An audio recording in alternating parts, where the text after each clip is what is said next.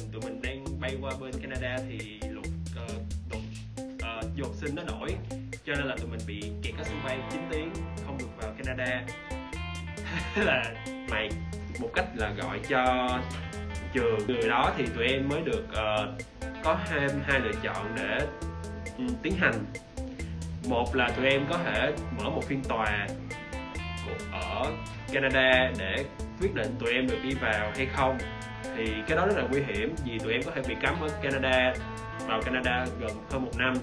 Còn lựa chọn thứ hai á, là tụi em phải đi về Việt Nam ngay lập tức.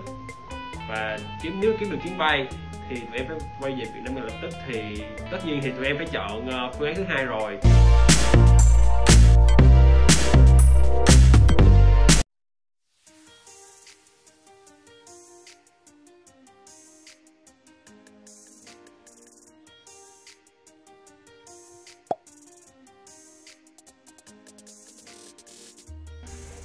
Đi test covid. Thế nên là à, sau đó tụi em có kết quả là âm tính. Và lúc đó thì à, ở bên à, hải quan, Canada người ta có một cái lựa chọn thứ ba cho mình. Đó là đi qua Niagara Falls để, rồi quay lại Canada để làm cái study permit đó. Thế nên là cuối cùng tụi em cũng được ở lại Canada hợp pháp để có thể học hành và và tìm kiếm cơ hội cho tương lai của mình. Trong không biết gọi cái đó tên bên tiếng việt như thế nào nhưng mà nó gọi là học sinh đặc biệt. Thì tụi em có thể ở đây trong vòng 6 tháng nữa và chờ cho tới thời điểm để đi là đi lấy cái study permit và chuyển cái visa thành visa học sinh như bình thường. Thì uh, trong lúc đó thì thầy JB đã gọi cho bên officer và kiểu giống như là ngày nào cũng phải gọi bên đó là để để giống như là đổi cái option cho và cho thêm tụi em một cái một cái sự lựa chọn khác để tụi em ở lại. Thì bên trường đã giúp mình rất bên trường đã giúp tụi em rất là nhiều trong cái khoảng thời gian đó. Các nhà, và chủ nhà host của em có giúp đỡ tụi em uh, trong thời gian Dạ, đó không? trong thời gian cách ly nhà homestay cũng giúp cho tụi em rất là nhiều. Kiểu ờ, tụi em lúc mà tụi em buồn thì người ta sẽ giao người ta sẽ nói chuyện với mình để có thể chia sẻ nỗi buồn đó à, ngoài ra họ còn nấu đồ ăn rồi mang xuống tận phòng cho mình. À, quần áo thì người ta mình để một cái giỏ người ta đem lên người ta giặt cho mình luôn rồi người ta đem xuống. À, nói chung là homestay giúp rất là nhiều.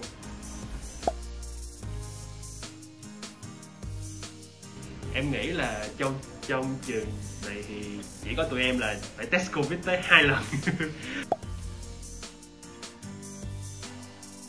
Người ta sẽ có một cái gọi là người ta sẽ xét nghiệm cái Xét nghiệm. cái dịch mũi của mình để xem mình có dương tính hay là âm tính. À, sau uh, lần đầu tiên thì tụi em âm tính và lần thứ hai cũng vậy.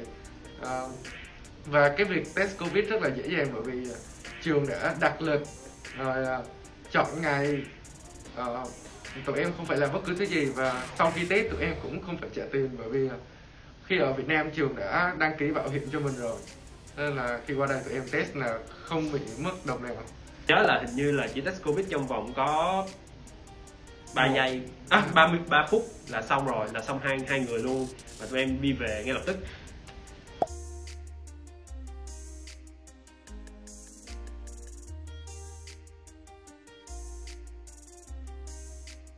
Cùng với dịch vụ bên trường ở bên International School bởi vì uh, trường đã tận tâm rất chu đáo trong việc uh, dẫn tụi em đi từ sân bay và đặt lịch hẹn cho tụi em test covid. Và trong việc học thì trường cũng giúp đỡ tụi em rất nhiều.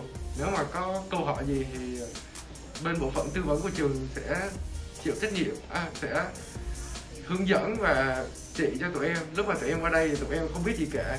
Thế nên là bộ phận tư vấn cũng chỉ cho em những nơi kiểu đi chơi thư viện rồi mọi thứ Ờ, dịch vụ trường rất là tốt. Theo em thì đây là dịch vụ uh, dành cho học sinh dịch vụ của trường tốt nhất mà em đã từng được trải nghiệm. Tại vì ờ, uh, US đã giúp tụi em rất là nhiều thứ từ hướng dẫn ở Việt Nam cho tới khi tụi em qua tới được Canada thì trường đã giúp đỡ tụi em rất là nhiều. Ờ, uh, trường có các Việt Nam các, các counselor người Việt Nam thì uh, họ đã giúp đỡ tụi em bằng cách là chia sẻ những kinh nghiệm mà họ ở bên Canada đã có và giúp tụi em khám phá nhiều thứ hơn trong lúc trước khi mà tụi em uh, biết được nhiều uh, giống như là chia sẻ những kinh nghiệm của họ để tụi em đi khám phá Toronto một ngày và nhờ đó mà tụi em biết được nhiều thứ hơn. Uh, dịch vụ của trường cũng rất tốt giáo viên siêu siêu siêu tốt. Nhiều bạn đã học ở Việt Nam thì cũng có thể biết đó là giáo viên ở đây là một cực kỳ tận tận tâm và tận tình luôn. Họ sẽ uh, kèm cặp nếu bạn gặp khó khăn và uh, giúp bạn mỗi lúc mọi nơi nếu bạn cần. Và trường có các câu lạc bộ để cho tụi em sinh hoạt. Về dịch vụ ạ. 100 trên 10 100 trên 10 Bye. Và rồi